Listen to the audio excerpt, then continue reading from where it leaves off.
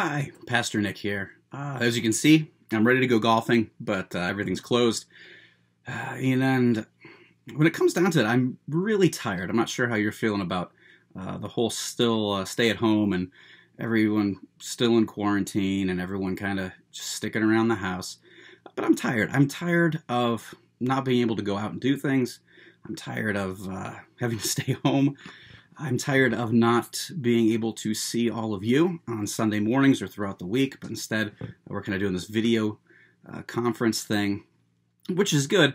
Uh, but I realized that it's a lot like uh, when I would go on mission trips and I would FaceTime my kids and we'd have video chats. It's not quite the same as me actually being there with them. It's good.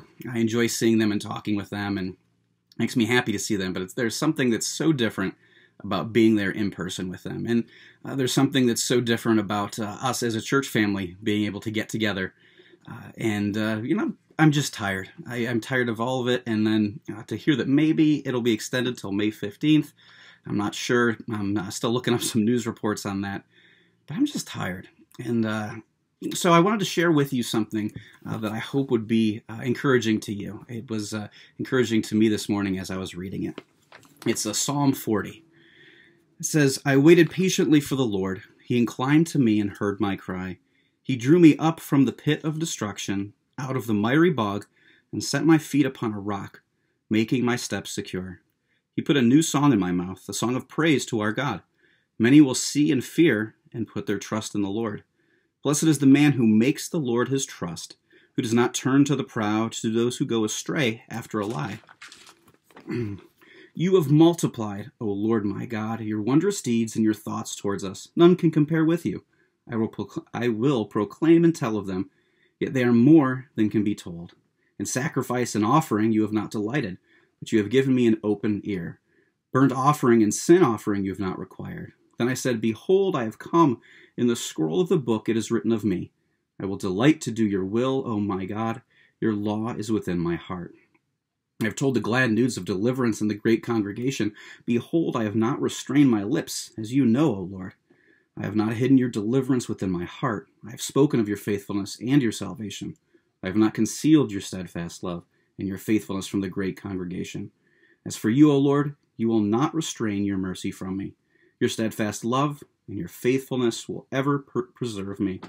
For evils have encompassed me beyond number, my iniquities have overtaken me, and I cannot see. They are more than the hairs of my head, and my heart fails me. But please, O Lord, to deliver me. Be pleased, O Lord, to deliver me. O Lord, make haste to help me. Let those be put to shame and disappointed altogether who seek to snatch away my life. Let those who be tur- let those be turned back and brought to dishonor who delight in my hurt. Let those be appalled because of their shame who say to me, Aha, aha. But may all who seek you rejoice and be glad in you. May those who love your salvation say continually, Great is the Lord. And as for me, I am poor and needy, but the Lord takes thought for me. You are my help and my deliverer.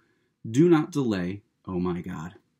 And this is the same God who watched out and took care of David, uh, the same God who loves us uh, and is watching out for you and taking care of you and, and me. And, and we are poor and, and needy in, in spirit many times, or maybe we're tired or frustrated or impatient but we know that God is always there to help us, and uh, that we seek uh, we seek Him and we put our trust in Him.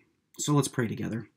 Heavenly Father, we say, Great is the Lord. And Father, we pray that you would look upon us, uh, that you would give us help from you. You would be our deliverer. You would not delay. Uh, remind us of all the good that you have done. Remind us of how steadfast your love is. And Father, I pray that you would meet us where uh, we are. Uh, uh, if uh, we're tired, that you would give us strength and energy, and if we're frustrated and impatient, that you would give us peace. and where, whatever it is, God, you have said we can come to you and you will provide for us. So, Father, help us, deliver us through this time, and be with us.